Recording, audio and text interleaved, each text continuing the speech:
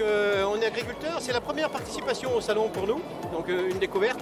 Euh, donc on est de la région Auvergne, au 25 km au nord de Vichy, en polyculture élevage charolais.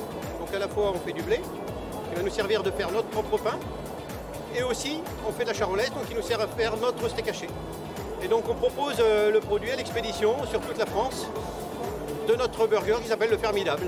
Donc vous êtes à la fois euh, en fait producteur, éleveur et à la fin euh, vous faites aussi de la nourriture quoi. Oui, oui, oui. Et ça, c'est euh, le sens de notre métier. Voilà, donc on l'a toujours envisagé comme ça. On, on fait de la viande depuis euh, 1996. Et depuis le départ, on a petit à petit créé ce genre de produit. Donc vous avez les kits qui, qui sont faits sur ce modèle-là pour aller directement au consommateur. On est présent sur Paris dans une boutique. J'espère qu'il y en aura d'autres dans quelques temps. Et, et qu'est-ce qui vous plaît du coup dans votre métier?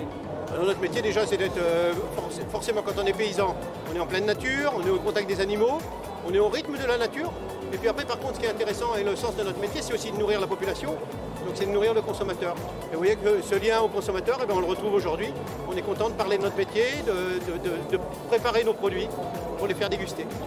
Quel conseil donneriez-vous justement aux jeunes qui veulent se lancer ou qui veulent se reconvertir?